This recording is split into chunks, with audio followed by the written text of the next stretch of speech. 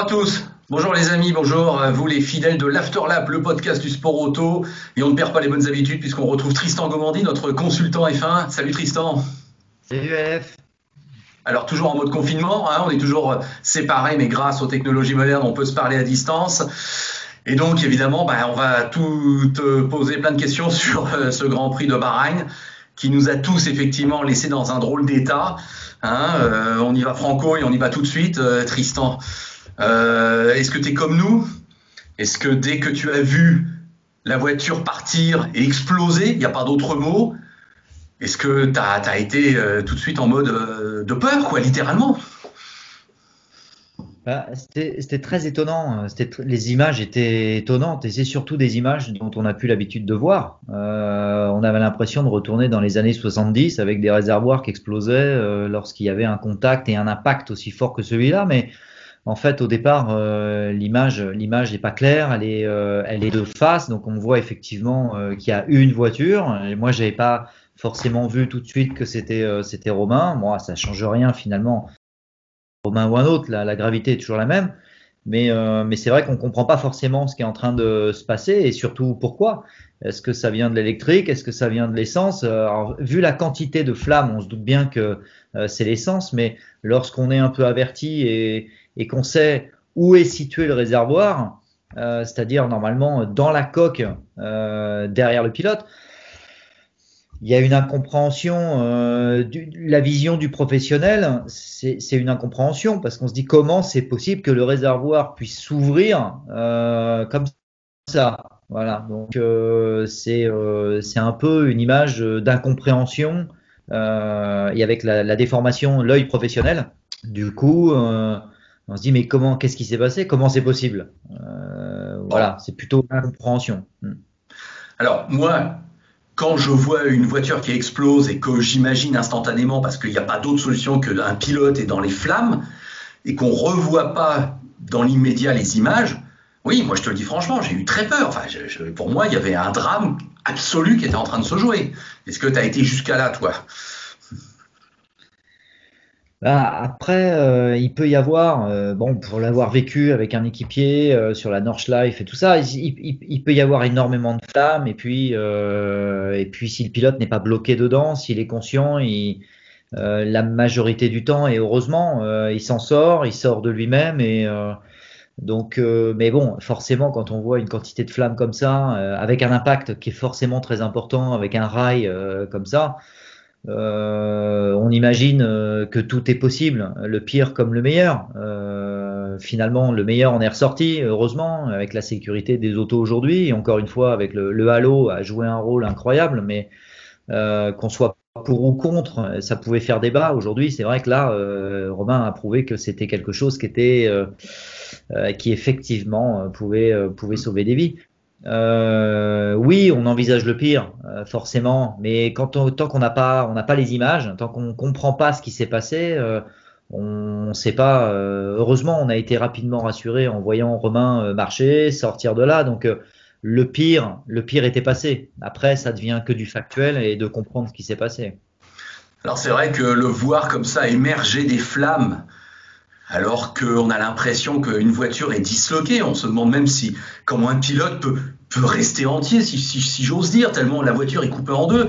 On voit un rail euh, euh, enfoncé. C'est vrai que voir jaillir tel de sa boîte euh, Romain au milieu des flammes, quelle image incroyable quand même.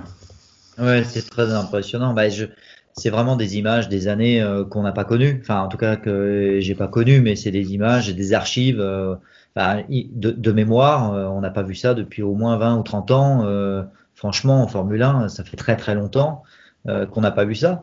Mais c'est là, après coup, je pense qu'il va y avoir une... ce, qui, ce qui paraît assez clair, évidemment, c'est difficile de parler sans avoir les résultats officiels, c'est qu'effectivement la voiture a été découpée par les rails. Euh, et qu'une F1, une F1 est extrêmement pointue, surtout à, à cette, à cette vitesse-là, et qu'elle s'est euh, elle s'est infiltrée entre les rails, a déchiré euh, a déchiré une rampe de rails et puis elle est rentrée euh, elle est rentrée et, et de par de par le fait que elle vienne en latéral comme ça, c'est venu découper la voiture. Euh, la première moitié, la coque de survie finalement, elle, elle, a joué son rôle aussi.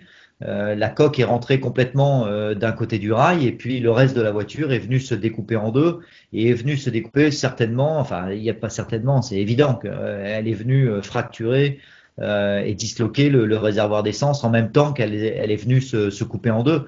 La chance, euh, chance inouïe euh, pour Romain, euh, c'est qu'effectivement la voiture se soit pas découpée au milieu, qu'encore une fois la coque de survie elle ait joué son rôle complètement dans, ce, dans cet accident-là.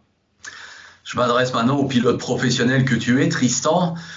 Bah, J'imagine que même si tu connais les aléas de ton métier à toi, tu ne t'imagines pas, j'imagine, au milieu d'un incendie de dingue pendant une trentaine de secondes. Euh, c'est pas quelque chose que tu as envie de vivre, n'est-ce pas? Non, et, alors, enfin, non, parce que c'est normalement c'est pas, euh, c'est pas bon signe. Euh, et là encore, c'est vrai que quand on parle de 28 secondes, on voit effectivement que quand il, il est dedans, euh, il doit, il doit une partie de sa survie quand même aux commissaires qui ont été, qui ont été exceptionnels, extrêmement réactifs, courageux. Euh, se sont jetés au bord des flammes pour pouvoir protéger le pilote, euh, ont tout de suite vu où il était et n'ont pas eu peur de, s'approcher au plus près pour essayer de couvrir Romain euh, avec la mousse des extincteurs pour pouvoir éteindre tout ce qui était autour de, de Romain. Et c'est ce qui permet peut-être à lui-même aussi d'y voir un peu clair au milieu de ces flammes-là. Alors l'imaginer, euh, non, c'est vraiment, je pense, ça c'est vraiment, euh, ça doit sûrement être le pire parce que parce qu'on est aveugle, on devient aveugle, on sent la chaleur, on sent euh, probablement les brûlures intenses, donc tout ça, on, et, et, et, le halo fait que pour sortir de la voiture, c'est pas forcément évident. Alors, je, je, pense, sans vouloir être dramatique, mais ça, ça, ça l'a probablement sauvé de la décapitation, ça c'est sûr. Maintenant, après, faut en sortir de la voiture parce qu'avec le halo, c'est pas forcément évident. Et, là, Romain a, été, euh, a été très fort parce qu'il est resté euh, lucide malgré tout ça, euh, a réussi à se détacher. L'impact, malgré les douleurs, il a réussi à, garder ses esprits pour pouvoir se détacher, sortir de là. donc c'est vraiment bon, tout, tout a fonctionné à merveille finalement. toute la sécurité euh, le service de sécurité, euh, il y a, y a qu'effectivement cette partie euh, de, du rail qui demande à réfléchir, où je pense que les rails mériteraient d'être protégés. Oui, alors c'est Vettel qui a été celui qui a le plus pointé du doigt ce questionnement sur les rails. Oui, toi, ça te semble le, à, la fois tel que c'est placé par rapport à une sorte d'échappatoire pour éventuellement abandonner. On, voit bien hein, qu'il y a une sorte d'angle qui, qui, qui s'est créé. Toi, toi aussi, ça te semble. tu es sceptique un petit peu là-dessus? Non, je pense que bon, le circuit a été homologué comme ça, hein, de toute façon. Donc, euh, ça a été validé euh, par les gens qui sont censés euh, être des professionnels de la sécurité et qui ont donné l'agrément au circuit pour accueillir la Formule 1. Maintenant, je pense que d'une manière générale, une Formule 1, c'est pas une GT, et que une Formule 1, encore une fois, c'est une flèche, et une flèche lancée à 200 euh, bah, elle détruit le rail elle vient, elle vient s'encastrer dans le rail et vient même traverser le rail. On en, on en a la preuve. Donc je pense que c'est tout un système et chaque accident euh, de ce type-là, euh, bon, celui-là finalement, on s'en sort très très bien, mais euh, mais il y aura forcément des conséquences à ça et, et des nouvelles réglementations qui vont aller euh, pour euh, dans, probablement soit de renforcer ou de, de, de, faire des rails différents pour la Formule 1. Euh, encore une fois, ce serait une GT, ça ne serait pas passé comme ça. Hum, hum. Euh, mais là, évidemment, force est de constater qu'il va falloir trouver des, des protections, euh, renforcer les rails ou trouver des protections supplémentaires pour que les voitures ne viennent pas se mettre à l'intérieur des lames de rail. Quand on apprend, Tristan, qu'il euh, a encaissé 53 G, Romain, dans, dans, dans cet accident terrible, est-ce que c'est un chiffre qui, qui te parle, toi? Je veux dire, tu, tu, tu te revois toi aussi, hélas, subissant des accidents et, tu, tu, tu, comprends tout de suite ce que ça peut représenter, parce que pour nous, c'est un chiffre un peu virtuel, on on mesure pas bien.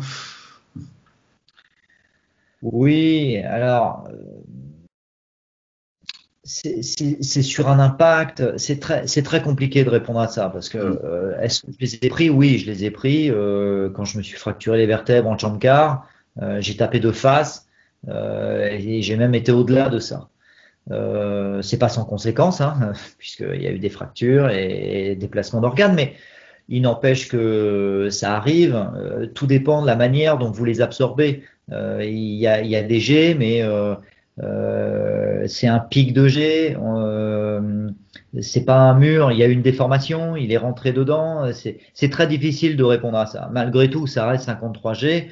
personne peut s'imaginer. Il faut les avoir pris pour se rendre compte euh, bon, finalement, on a été, on a été nombreux à prendre, enfin nombreux. Euh, heureusement, euh, non, tout est relatif, mais ça arrive et finalement, c'est pas, c'est pas les jets qui vont faire que ça, ça va créer une, une blessure grave et fatale. 53 G, c'est énorme évidemment, mais c'est sur un moment très précis, d'une certaine manière. donc, donc là, la preuve, c'est que je, on, ne voit aucune, en tout cas, on n'a pas été informé de, problèmes physiques dus au G. C'est les brûlures, euh, c'est d'abord les brûlures, euh, mais euh, il n'y a pas de, il a pas spécialement. on parle des 53 G. je sais pas d'où ils sortent d'ailleurs ces chiffres parce que il y a peut-être des données officielles du team, mais d'où sortent ces 53 G? Moi, je veux bien, mais il y a peut-être quelque chose, mais en tout cas. Il y a pas, pas les 53G qui ont blessé Romain. Ouais. Non, mais au moment où on se parle, bah, il y a que effectivement ces blessures euh, aux mains qui semblent être, et puis un peu aux pieds, je crois, mais euh, qui semblent être les vraies blessures de Romain, mais pas de fracture. C'est vrai que ça semble euh, même incroyable. Hein. Non, non, mais parce qu'en en fait, on communique peu, parce que les accidents sont, sont, moins graves que prévu ou ne sont pas aussi spectaculaires que cela, mais euh, ça arrive régulièrement euh, lors d'un impact, euh, lorsqu'on dépasse les 200 km/h et qu'on va se mettre dans un rail, on dépasse très souvent les 40, 40 ou 50 G, enfin très souvent. en tout cas, ça, ça, arrive et c'est pas c'est pas les G véritablement qui vont être qui vont être la, problématique pour la, blessure du, du pilote. Il y a énormément de facteurs qui rentrent en compte qui vont faire que ça va blesser le pilote. Mais là, c'en est la preuve. C'est qu'on nous parle de 53G, donc je sais pas d'où sort ce chiffre. On nous parle de 53G et c'est, absolument pas la décélération qu'a, qu'a blessé euh, Romain. Bon bah écoute, on va on va pas effectivement euh, en faire en faire une heure là, dessus parce que les nouvelles sont plutôt bonnes. On, on a évidemment une pensée très amicale à, à Marion, la femme de Romain, et, à ses enfants qui effectivement devant leur télé ont dû vivre quand même des moments absolument terribles. Ça c'est sûr qu'on se met on se met à leur place, donc on leur adresse notre plus amical salut, bien évidemment. La petite polémique qu'il y a eu après, c'est vrai, c'est Ricciardo, mais je te la pose quand même la question parce que à l'arrière, je veux savoir ce que tu en penses. Lui, il dit, bien sûr, on sait que Romain allait bien et on l'a su assez vite, mais ensuite, on a revu pendant une heure en boucle l'accident, l'explosion, les flammes et tout et tout. Et Ricciardo a trouvé ça euh, un peu, un peu insultant, si j'ose dire, ou en tout cas très inapproprié de diffuser à ce point-là les, images de l'accident pendant le drapeau rouge et pendant le temps qu'il a fallu attendre pour que le Grand Prix commence.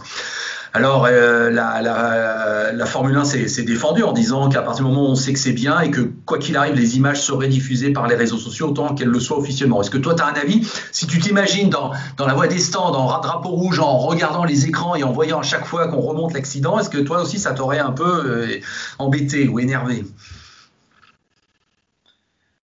Oui, c'est un peu, c'est toujours un peu euh, le débat. Euh, oui, moi je trouve ça pénible, mais en fait c'est pénible, c'est pénible pour les pilotes qui sont sur place. C'est-à-dire qu'on n'a pas envie de voir, euh, on n'a pas envie de voir ce genre de choses quand on est en plein Grand Prix et que et qu'on doit faire le restart et euh, voilà. Et nous ça arrive régulièrement en championnat où effectivement sur les télés, dans le paddock euh, les rétrospectives euh, des courses précédentes, euh, on nous montre que les accidents. Bon, bah, au bout d'un moment, au bout d'une demi-heure, une heure, deux heures, une demi-journée à voir les mêmes écrans et les mêmes accidents et perpétuellement, nous qui devons monter dans la voiture, voir ça tourner en rond, ça devient, ça devient pénible. Voilà, il faut aussi comprendre que le pilote, lui, quand il monte dans la voiture, voir ça continuellement, euh, c'est pas une partie de plaisir, donc ça devient un peu pénible. Alors quand on l'a vu une fois, deux fois, trois fois, c'est vrai qu'on peut euh, que ça peut s'arrêter. Mais la vision du pilote, qui lui est en plein meeting, euh, n'est forcément pas la même que le téléspectateur qui finalement euh, on fait du sensationnel. Mais bon, on vit dans une société de sensationnel. Donc c'est malheureusement ce genre d'accident qui heureusement se termine très très bien. Euh, des accidents spectaculaires comme ça, euh, on sait bien que finalement pour la F1, euh, bon, c'est ce qui fait, c'est le fond de commerce de la course automobile. S'il arrivait jamais rien, ben, finalement, est-ce que les gens se désintéresseraient pas complètement et, le respect des pilotes, tout ça fait que ça, ça, ça fait entretenir le, le mythe des pilotes et de la course automobile pour le grand public. Donc c'est un peu normal. J'ai envie de dire qu'ils ont, ils, sont et ça se fait de plus en plus, et là ils l'ont bien respecté, c'est que c'est vrai que tant qu'ils n'avaient pas la certitude que Romain n'était pas euh, resté dans le feu, euh, ça peut rappeler évidemment il y a, il y a six mois euh, la perte ou le décès de Niki Loda. C'est quand même quelque chose qui a marqué les esprits, qui est, qui, est, resté très présent avec avec Loda qui était très très présent sur les circuits avec Mercedes. C'est un accident que évidemment euh, quelqu'un comme Loda aurait euh, détesté voir et ça aurait été quelque chose de, terrible pour lui de revoir ce genre d'image. Mais en tout cas, ils n'ont pas, ils n'ont pas diffusé ces images jusqu'à temps d'être certain que Romain était euh, sauf. Donc ça, c'est quand même quelque chose de positif. c'est qu'à la limite, quand même, on va pas, on, attend pour la famille, pour la décence de tout ça. On n'a pas eu d'image avant que Romain soit sorti de la voiture. Hmm. En tout cas, moi, pour conclure, je, je reviens à ce que j'ai éprouvé, Tristan quand je vois une explosion, quand on se doute qu'il y a un brasier et qu'il y a une situation de, de, de, supra-danger, et que une minute après, pas plus, je vois Romain dans la voiture, il est déjà dans la voiture, on, découvre son visage, il a le casque enlevé, il est dans la voiture. honnêtement, je n'osais pas y croire. Honnêtement, je, sentais le drame et, voir déjà Romain dans la voiture, ce qui voulait dire qu'il était déjà sorti du brasier, qu'il avait déjà enlevé son casque, qu'il était déjà posé. Ah disons, oui, il y avait un soulagement de dingue, mais il y avait une. Là, c'est vrai que j'ai pas compris. Et quand après on revoit qu'il s'extrait de, du brasier, justement, ah oui, là on comprend que ça a été euh, une trentaine de secondes de, de folie, quoi. Donc effectivement, hein, ça fera partie des grandes images euh, d'une année de sport automobile. Hein, ça, c'est sûr que ça, tout le monde en parle. Hein. Voilà. Bon, ça va marquer les esprits et ça restera sûrement un des accidents de, la décennie. Hein. Mm-hmm. Euh, il y en a pas eu beaucoup. comme ça. Donc, non, mais c'est surtout ce qu'il faut retenir, c'est le positif positif. Un, Romain euh, s'en sort euh, indemne, enfin, je veux dire, avec des brûlures, euh, semble-t-il, en tout cas superficielles, même si sûrement au deuxième degré, mais donc tout va bien pour lui, donc c'est quand même une bonne chose pour sa femme et ses enfants déjà, premièrement. Et puis, et puis après, c'est quand même la, première chose à retenir, c'est la sécurité, l'évolution de la sécurité dans l'automobile. Il y, a, il y a ne serait-ce qu'une vingtaine d'années ou il y a 30 ans, euh, le même accident, il est évident que le pilote n'en sortait pas euh, indemne. Ouais. Bon, trois questions pour finir, Tristan, parce qu'il y a quand même eu une course, donc effectivement, je vois, je vois trois questions à te poser sur ce qui s'est passé ensuite, même si, moi, je le dis sincèrement. pardon, excuse-moi. excuse-moi, je t'ai coupé, mais qui est un beau résumé, je pense, de la saison. Euh, cette course, après, est assez euh, révélatrice de, toute la saison. Alors, les trois questions que je voulais te poser, bah, dans l'ordre chronologique, c'est euh, le restart et le pauvre Kiat, parce qu'à l'arrière, j'ai envie de dire, il se retrouve deux fois impliqué. on peut pas dire qu'il soit pour grand-chose quand même dans le premier. Mais là, bon, par rapport à Stroll, qu'il envoie un peu en tonneau, euh, c'est vrai qu'on n'avait pas besoin de ça. Bon, là aussi, euh, tout est bien, euh, tout n'est pas bien, mais qui finit bien. comment tu as analysé éventuellement cet, accident entre Stroll et, Kiat? Pour moi, c'est assez clair quand même, parce que Kvyat, vient de très loin, n'a absolument pas la place. il, est, il est beaucoup trop en retrait par Stroll au moment de l'épingle, et à ce moment-là, Stroll peut pas imaginer, ou en tout cas ne peut pas le voir, c'est impossible, donc Stroll prend sa trajectoire tout à fait normalement. Euh, Kvyat, forcément, ça pouvait pas se terminer autrement avec Kvyat qui venait mettre la roue à côté à ce moment-là. Donc Stroll n'y est strictement pour rien. Je pense que, enfin, Kvyat, évidemment, euh, il a été pénalisé pour ça euh, et c'est un minimum parce que c'est, il avait absolument pas la place. Il est arrivé beaucoup trop tard et de beaucoup trop loin. Euh, donc ça, c'est pas possible. C'est, c'est, clairement pour moi une erreur de, de Kvyat. Non, non, mais on, est d'accord. Sur ce coup-là, oui, il n'est il est pas vraiment défendable. Pérez, en fin de course, qui bah, abandonne, oui, mais qui euh, attend, on a l'impression, euh, trois minutes que son moteur explose pour enfin s'arrêter, le moteur prend feu là aussi. Bon, euh, comment toi tu as, tu as jugé un peu cette, agonie de, Pérez? C'est un peu, c'est difficile à dire là. Après, c'est entre nous, nous de l'extérieur, on a vu, on a vu de la fumée. Après, c'est quand est-ce que lui, alors j'imagine quand même que son team informé du problème moteur, parce que lorsque un moteur de F1 quand même est en train de fumer comme ça, euh, il devait y avoir quand même des alertes évidemment euh, sur la télémétrie. Donc euh, le pilote a été informé. Après, je pense que le pilote il a continué. Alors on peut on peut effectivement charger Perez, mais si ne s'est pas arrêté, c'est que le team ne lui a pas demandé de s'arrêter. Peut-être que le team, sachant qu'il restait très peu de temps, très peu de tours. Il devait rester deux ou trois tours à faire, il me semble, de mémoire. Euh, ils se sont dit bon bah le moteur est mort.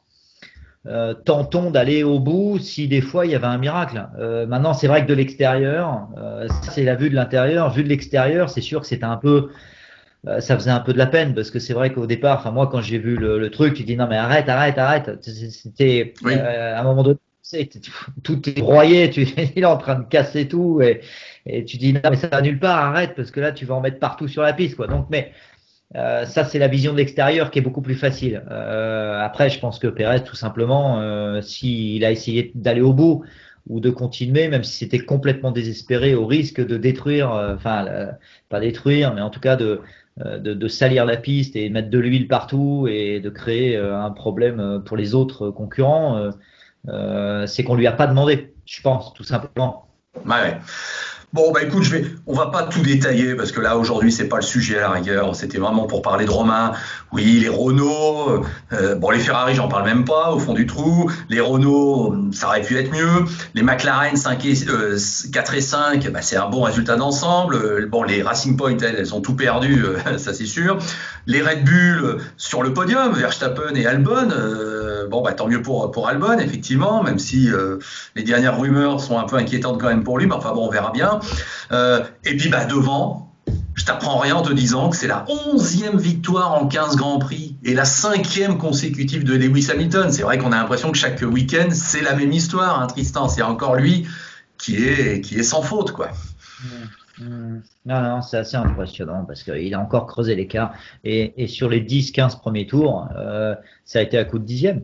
Euh, il, a, il, a, créé un écart de, de 4-5 secondes. Euh, et, mais euh, c'est à coup de dixième tous les tours. Et, à la fin, ça fait 5 secondes d'écart. Et puis à un moment donné, euh, euh j'ai pas à ce moment-là euh, compris exactement pourquoi, mais il se retrouve avec 20 secondes d'avance. Qui ça, ça, finit par être le, le forfait. Mm. C'est forfaitaire, c'est entre 20 et 30 secondes.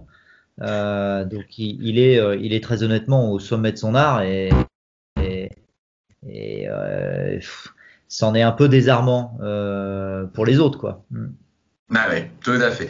Bon, bah écoute, Tristan, allez, on va te remercier vraiment beaucoup de ta disponibilité. C'est des moments euh, euh, bah, qui sont pas simples pour tout le monde par rapport au, confinement et, et, au fait qu'on puisse pas toujours être ensemble. Alors, je t'annonce que la semaine prochaine, euh, je ferai l'épisode concernant le Grand Prix de Sakir en Facebook Live tout seul. Euh, pour un peu comme ça dynamiser l'afterlap et c'est pas tous les jours qu'on est en live donc je le ferai tout seul et je vais te laisser te, te reposer entre guillemets mais D'emblée, je t'annonce que pour le Grand Prix d'Abu Dhabi, dans 15 jours, hein, le dernier de l'année, là, je pars du principe que je viens te voir et qu'on arrive là, puisque ça y est, on sera officiellement plus en confinement et qu'on on fera bien le dernier de l'année tous les deux. Hein, on est d'accord. Hein. Ça marche. Bon, eh ben écoute, porte-toi bien. Euh, bise à toute la famille aussi. Et puis, bah écoute, euh, allez, euh, et tes avis évidemment très intéressants et, à bientôt donc Tristan pour la suite et la fin de cette saison 2020 décidément très mouvementée. Salut Tristan. Salut, merci à toi.